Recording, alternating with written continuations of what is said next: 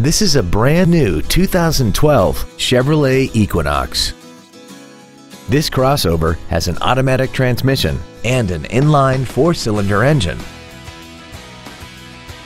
Its top features include a rear-view camera, speed-sensitive volume controls, commercial-free satellite radio, and a tire pressure monitoring system.